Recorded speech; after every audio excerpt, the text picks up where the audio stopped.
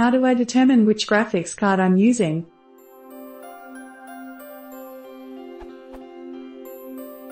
I recently read this answer on gaming.SE, which made me realize that I actually have no idea how to tell which graphics card I have in my PC. Where can I find this information?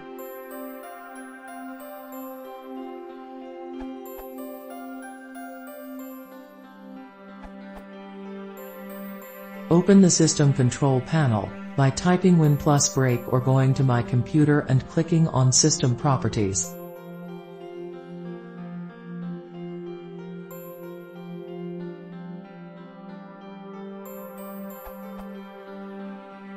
Click on your Windows Experience rating to go to Performance Information and Tools.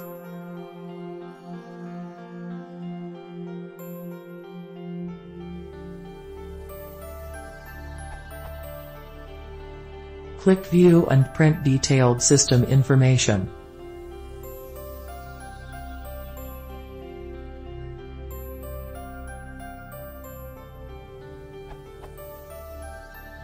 Scroll down to the Graphics section.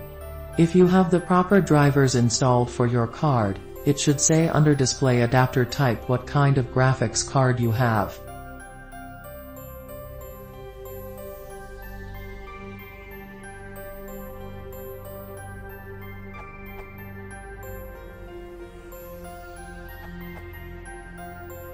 Use the DirectX diagnostic tool. Start, Run, dxdiag.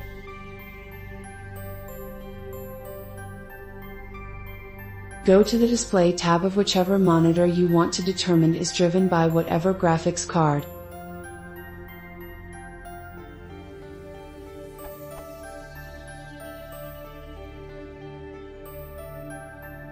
This works on any version of Windows with DirectX, XP, Vista, 7, whatever.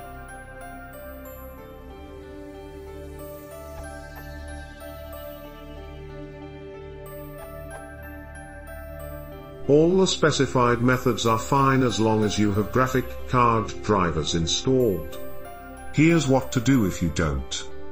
In Device Manager, right-click the unknown device, that you assume is the graphics card, select Properties and go to Details tab. Select hardware IDs from the property drop list.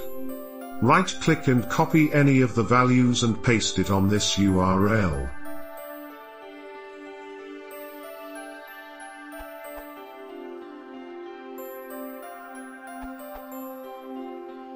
Use a tool like Puzzi.